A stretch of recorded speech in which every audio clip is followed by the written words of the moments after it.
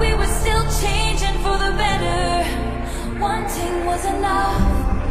For me, it was enough to live for the hope of it all. Cancel plans just in case you call.